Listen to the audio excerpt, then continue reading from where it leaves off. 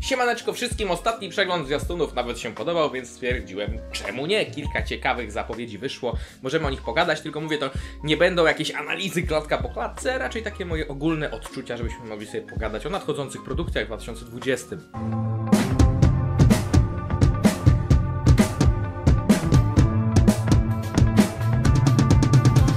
zaczynamy od marvelowskiego Black Widow, czyli Czarna Wdowa wreszcie jako jedyna poza Captain Marvel kobitka doczekała się swojego solowego filmu w tym uniwersum. Jeśli mam być szczery i bardzo mało oryginalny jednocześnie, to powiem wam, że film wychodzi trochę po nie w czasie. A dla tych, co nie znają ulubionego słowa profesora Miotka, film wychodzi za późno. Bo uwaga, spoiler do Avengers Endgame, Black Widow, czyli Czarna Wdowa tam ginie. Więc jest to oczywiście prequel do jakiejś tam szpiegowskiej przygody z przeszłości, gdzie poznajemy jej siostry. By the way, możliwe, że to jest prawdziwa rodzina, możliwe, że tylko się tak nazywają jako organizacja. I zapewne ci z was, co znają komiksy na pamięć, już piszą sprostowanie. Także śmiało, osobiście mi to nie robi ani różnicy, ani mnie to specjalnie nie interesuje.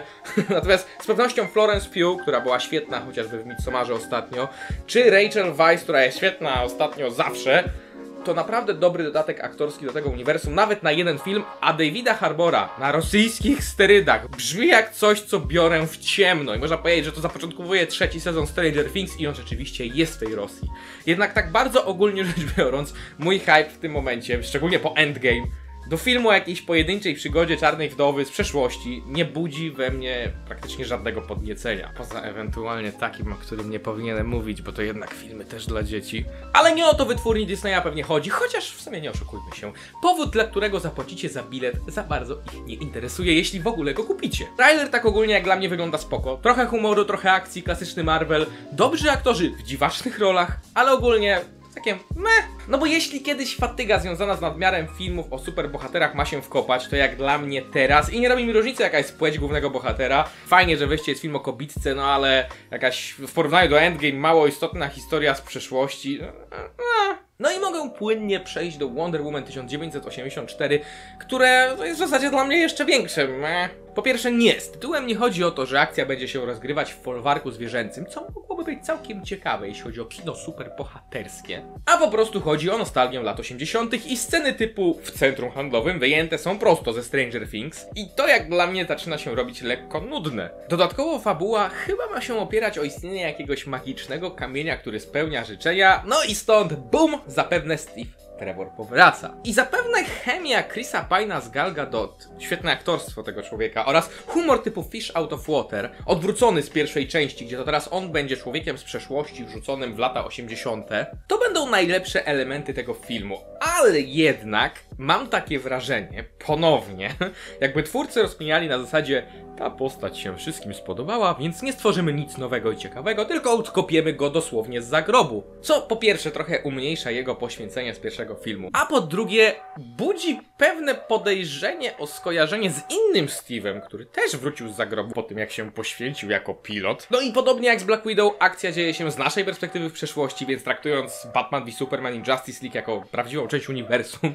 rodzi się nam tutaj kilka pytań, typu jak to jest, że na zwiastunie Wonder Woman huśta się jak Spider-Man lasem prawdy, zahaczając o pioruny, co w ogóle brzmi jak absurdalnie, jestem trzeźwy to mówiąc, a w nowych filmach już tego nie robi. No i oczywiście ta zbroja z końcówki zwiastuna nigdy już potem nie powraca. No i tak przy okazji, no nie podoba mi się ta zbroja. I wiem, wiem, wiem, już słyszę, tak, była w 700 tysiącach komiksów i tak musiało być. Ale jakoś tak wygląda to wszystko dla mnie tandetnie, jak z jakiejś japońskiej mangi. Tak, oczywiście rozumiem, orzeł, symbol Zeusa i tak dalej, wow.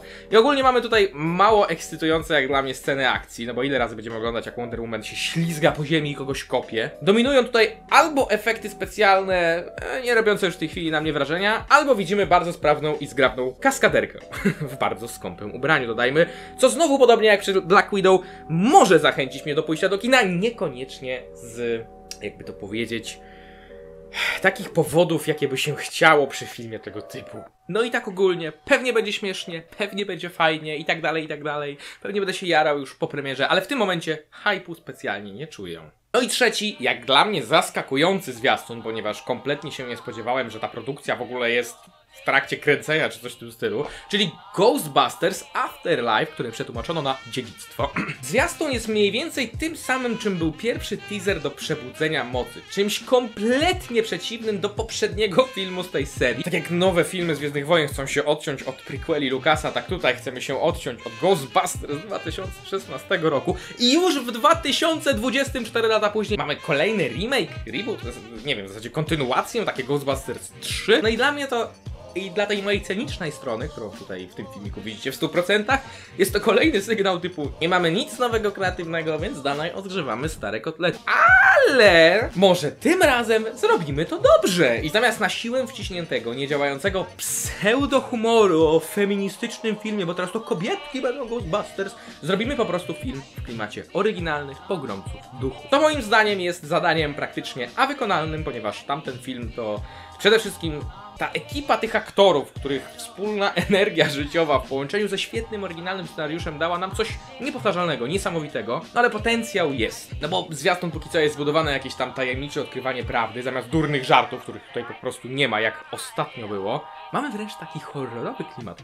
Także no jestem ciekaw, w którą stronę pójdzie ten film, ponieważ podejrzewam, że reżyser Jason Reitman będzie celował w podobny ton co jego ojciec, reżyser oryginału. Taka ciekawostka, moi drodzy, Ghostbuster zostaje w rodzinie. Więc nie nastawiam się jakoś fatalnie, broń Boże, przeciwko temu filmowi, bo wygląda jak dobry krok dla tego franchise'u, ogólnie rzecz biorąc, jakby wracał na dobre tory, ale jednak osobiście, powtórzę to milionowy raz, wolałbym coś nowego i kreatywnego, zamiast bazowania na starej nostalgii i tak dalej. Znacie tą śpiewkę, no, no ale tak jest, kuźwa, tak jest. Oczywiście trzymam kciuki, żeby mi się udało zrobić jak najlepszy film, no bo kurczę, czemu nie? Myślę, że jesteśmy na dobrej drodze w tym wypadku. Zobaczymy w 2020. Dzięki bardzo za uwagę, słuchajcie, czekam na wasze komentarze co do tych zwiastunów. Mogę się założyć, że są dużo bardziej optymistyczne. Ja sobie po prostu ponarzekałem, no ale takie mam prawdziwe odczucia. Akurat te filmy nie budują we mnie jakiegoś hype'u, czy nie wiadomo czego. No i no co, takie życie. Zobaczymy, co przyniesie 2020. Dzięki bardzo za uwagę i do zobaczenia w kolejnym Ponarzekajmy o filmach.